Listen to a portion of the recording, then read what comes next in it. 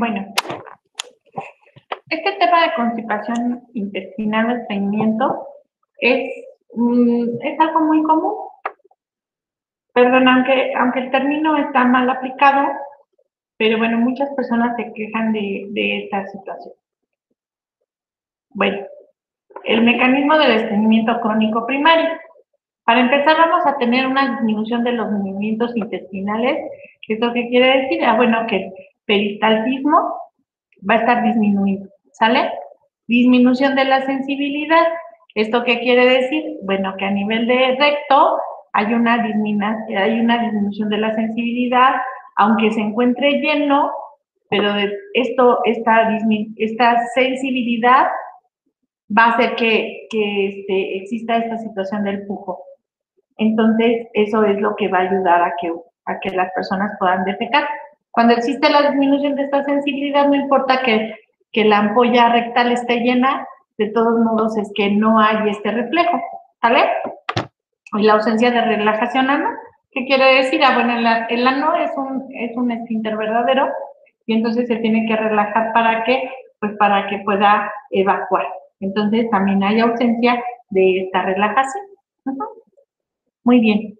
El estreñimiento constipación intestinal se utiliza de muchas maneras por los pacientes para referirse a las evacuaciones, que son demasiado duras, pequeñas o infrecuentes, o se necesita un gran esfuerzo durante la defecación. Así que el primer paso consiste en saber qué es lo que quiere decir el paciente como constipación o estreñimiento. El hecho de que ellos digan estoy estreñido no quiere decir que en realidad lo sean. Lo que hay que preguntar es cómo son sus evacuaciones y por qué dice que está estreñido. Bueno, principalmente, ¿no? ¿Por qué dice que está estreñido? En muchos pacientes la queja es por una percepción errónea de lo que es la inactividad intestinal normal. Entonces, este estreñimiento es cuando un paciente tiene dos o menos movimientos intestinales por semana o dificultad o esfuerzo excesivo en la defecación. ¿Qué quiere decir? Que tiene que pujar mucho para poder defecar.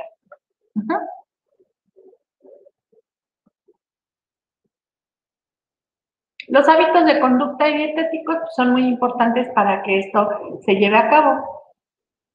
Los pacientes, son eh, los pacientes con estreñimiento tienen síntomas leves que no pueden ser atribuidos a normalidades estructurales, trastornos de la motilidad o enfermedad sistémica. Se notará que no consumen la cantidad adecuada de fibra y líquidos.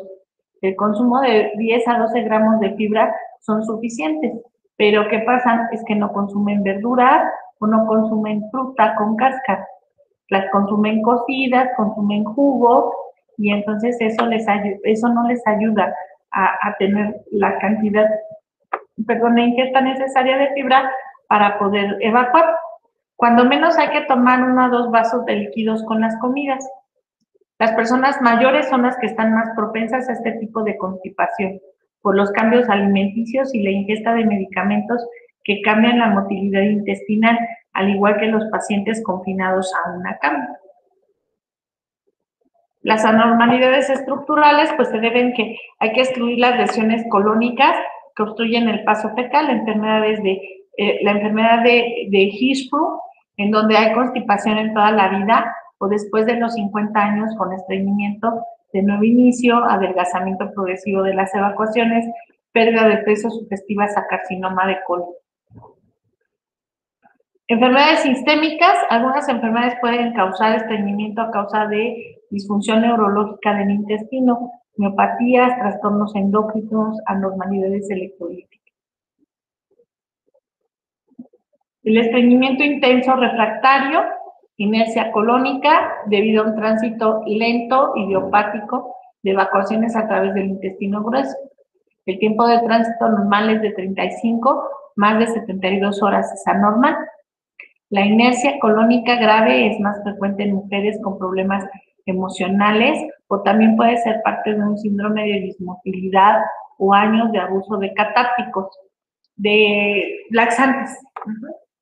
Trastornos de las vías de salida, en caso de trastornos del recto, del piso pélvico, tienen problemas para evacuar el intestino. Se quejan de esfuerzos excesivos con sensación de evacuación incompleta. La mayoría son mujeres. La causa pueden ser problemas anatómicos que impiden o obstruyen el flujo y algunos pueden beneficiarse con un proceso quirúrgico.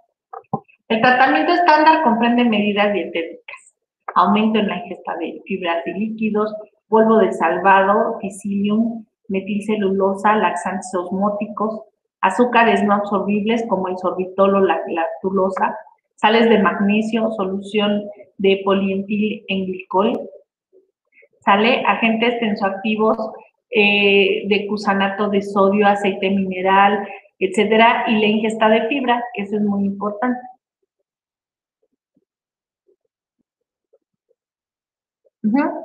El paciente que requiere el uso de enemas y agentes catárticos, pacientes con problemas psicológicos o con el antecedente de abuso sexual, en casos particulares es necesaria la colectomía subtotal.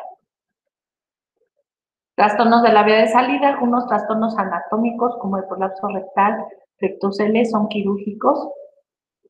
Tratamiento del estreñimiento agudo, laxantes catárticos, cáscara sagrada, bisacodil, aceite de ricino, cenócidos, laxantes osmóticos como el citrato de magnesio, el sulfato de magnesio, el fosfato de sodio, enemas en un medio simple y casi inmediato para aliviar el estreñimiento.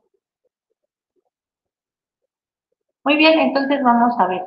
Alumina. Alumina es un medicamento que tiene, em, que tiene una acción muy lenta. Entonces, alumina hay que darlo por mucho tiempo para que pueda tener un efecto importante. ¿Sale? Entonces, cuando uno da alumina, es que no debe desesperarse por los resultados. ¿Por qué? Pues porque el, medicamento es muy lento. Aunque ya sea para infecciones de vías respiratorias o en esta situación de, de el estreñimiento, es muy lento en actuar. Entonces, son esas que salen con dificultad y grandes esfuerzos, aún siendo blandas, inactividad rectal. No hay deseos de evacuar hasta que hay una gran acumulación de heces. Escasas como bolitas duras y oscuras, como borreguitos, y adherentes como arcilla, cubiertas con mucosidades.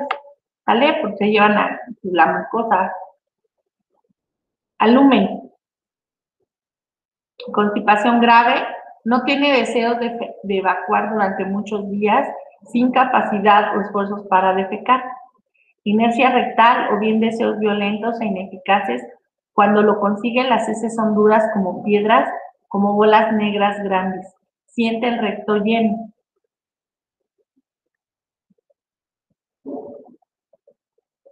Albrionía. Constipación intestinal con heces difíciles y muy grandes. Inactividad rectal. Dolor ardiente en el recto después de defecar. Las heces son escasas, secas y duras. Tienen el aspecto de estar quemadas y son delgadas.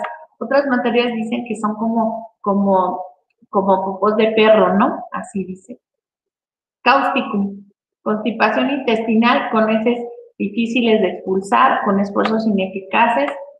Puede evacuar solamente cuando está de pie. Dolor ardiente, opresivo del recto después de defecar.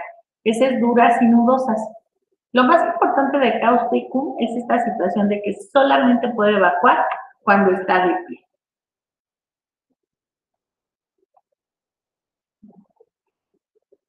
Colinsomnia. Bueno, colinsomnia va a presentar una constipación obstinada con hemorroides dolorosas. Esto es muy importante. Las hemorroides de colinsomnia es un excelente medicamento para este padecimiento.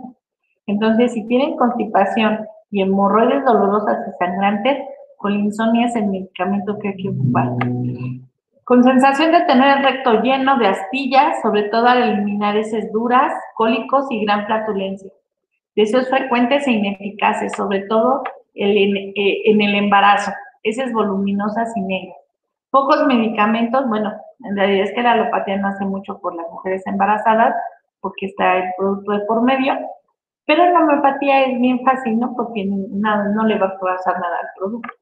Entonces, bueno, para dar este eh, en, constipación en el embarazo, pues con insomnia es una buena opción. Lac de floratum.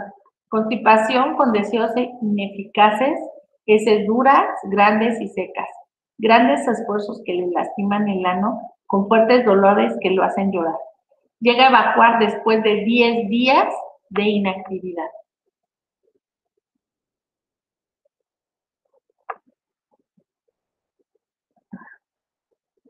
Licopodium clavatum, bueno, Licopodium clavatum va a presentar constipación desde la pubertad o desde el último parto, cuando está fuera de su casa o de viaje, más frecuente en niños, deseos frecuentes e ineficaces, gran flatulencia y borborismo, sobre todo en el hipogastrio, heces secas, duras y nudosas.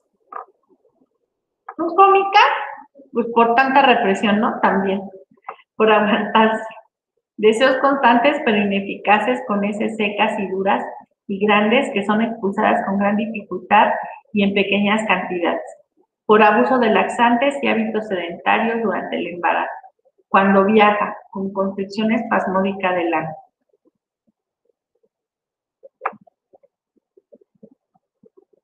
Uno de los mejores medicamentos para la, situación aguda del estreñimiento es opio constipación con, tal, con total inactividad rectal. Acuérdense que, que, una de las cosas que ocasiona el opio es, es este, las supresiones diarrea, ¿vale? Entonces, bueno, ¿qué va a ocasionar? Pues constipación. En total inactividad rectal, ausencia de deseos. En niños, por abuso de drogas.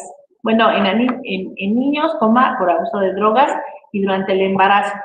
Por hábitos sedentarios en ancianos heces negras y duras como pelotas que salen con gran dificultad y retroceden cuando ya habían empezado a salir. Plumbum, constipación con heces como bolitas negras, de, de borreguito también, duras, escasas, nudosas como de, de cordero. Evacuación difícil por la inactividad rectal y muy dolorosas por el espasmo anal, frecuente durante el embarazo. Entonces vamos a ver Constipación asociada a uso de fármacos, alumina, alumina. Constipación asociada a hemorroides, colinsomnia. Constipación asociada a trastornos digestivos con producción de calor y consumo de líquidos, brionía. Causa. Constipación asociada a obstrucción intestinal por carcinoma, lac de florato. Constipación asociada a falta de confianza en sí mismo y ansiedad, un clavado. Constipación asociada a abusos en la comida y vida sedentaria, no sumo. Constipación intestinal posoperatoria, PI. Constipación intestinal asociada a colon irritable, plumbo. Gracias.